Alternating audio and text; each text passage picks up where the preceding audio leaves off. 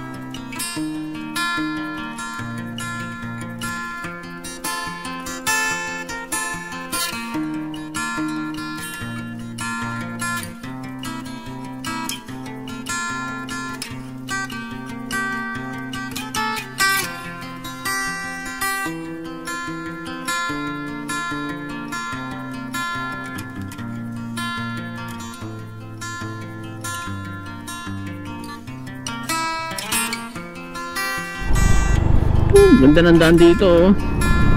Coastal Road Tapos maraming bahayan sa gilid oh.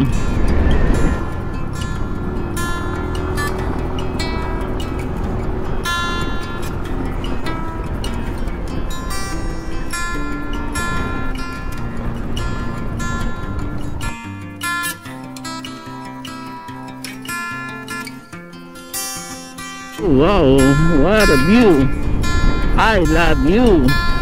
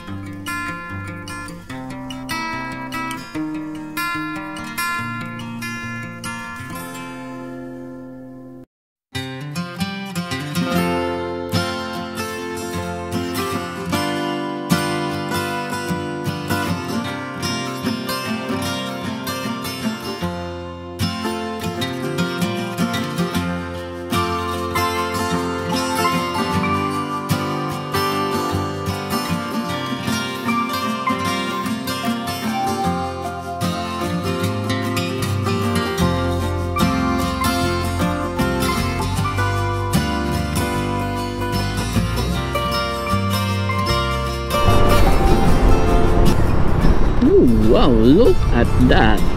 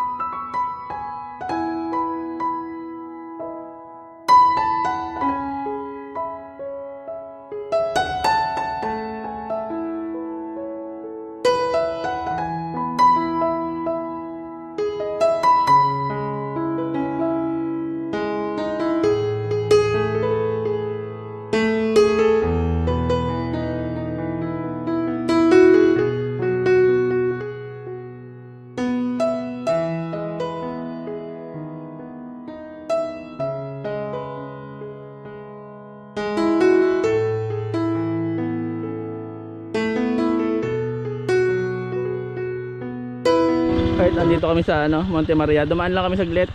Nag picture taking. Ayan. Ayan yung Monte Maria. Ngayon, alis na ulit kami. Okay, tuloy na ulit ang biyahe. Dito tayo sa- sa Monte Maria, Batangas City and diretso na tayo. Hanap pala tayo muna ng makakainan.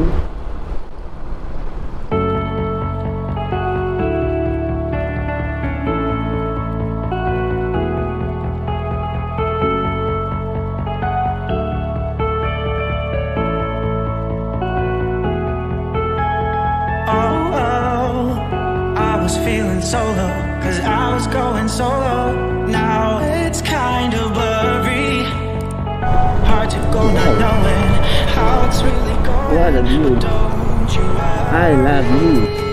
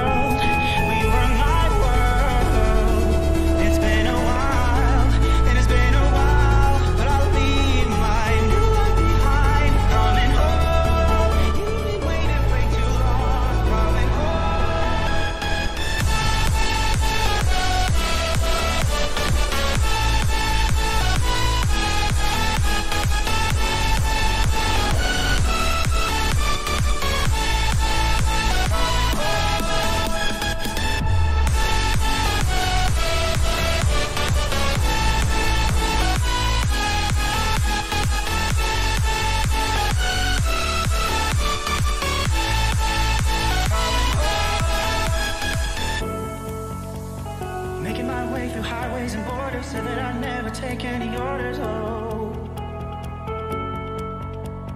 didn't take long before I got homesick. Been away so long and now I'm in panic. Oh, oh, oh. I was feeling so low cause I was going solo. Now it's kind of blurry.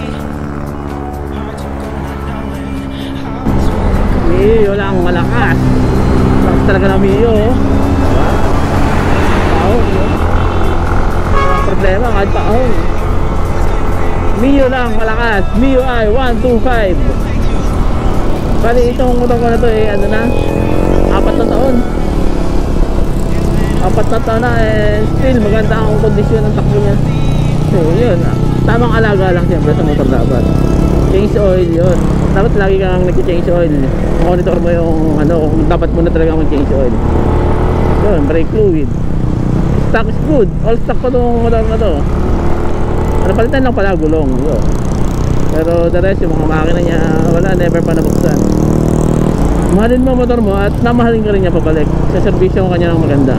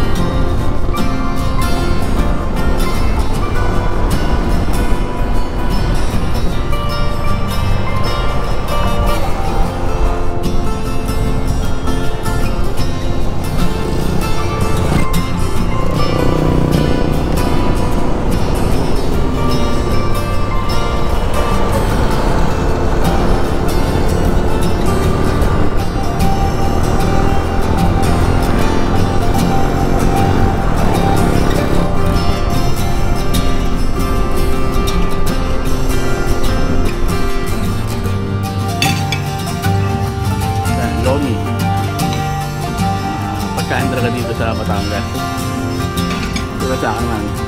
Top silog. Ah, pork silog pala. Pork silog. Ayun guys, ah... Tapos na kumain, bigla namang umulan. Ayun, kaya inatay namin muna tumigil ang ulan. Isang oras din yung nasasayang sa amin doon paghihintay ng ano, paghihintay na tumigil ang ulan.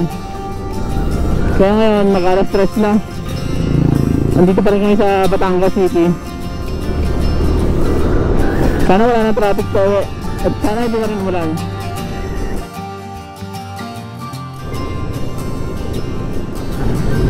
Ayan, malapit na po tayo sa SM Batangas. Ayan, stoplight. Tapos ayan na yung SM.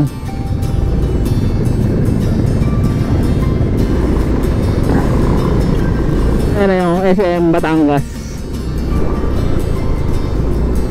SM City Batangas. 嗯。